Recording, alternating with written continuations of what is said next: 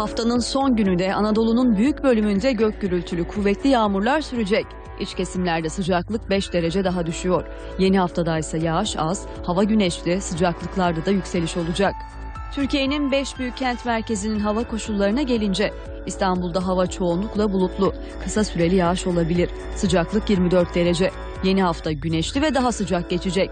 Ankara'da şiddetli yağmura dikkat, su baskını riski var. Sıcaklık 20 dereceye inecek. İzmir'de pazar yağış yok ama hava biraz bulutlu. Sıcaklık 27 derece. Bursa yağmurlu 25 derece. Antalya ise gök gürültülü sağanak yağmurlu ve 26 dereceye iniyor. Marmara'da haftanın son günü de hava çok açık değil. Edirne Kırklareli arasında ve Sakarya Yalova çevresinde kısa süre yağış var. Sıcaklık 23 ila 27 derece.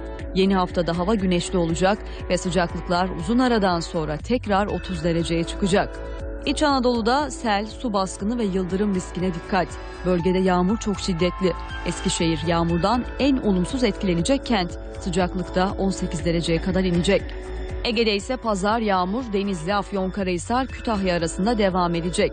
Kıyılarda önemli bir yağış yok ancak hava biraz bulutlu ve rüzgar kuvvetli. O nedenle akşamlar serin geçmeye devam ediyor.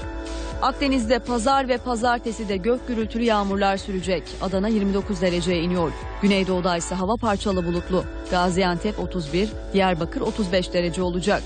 Doğu Anadolu'da pazar günü yağış az, hava parçalı bulutlu. Sıcaklık Erzurum'da 24, Malatya'da ise 31 derece.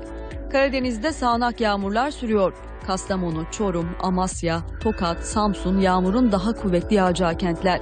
Hava sıcaklığı da düşüyor. Bolu 19, Samsun 23 dereceye inecek.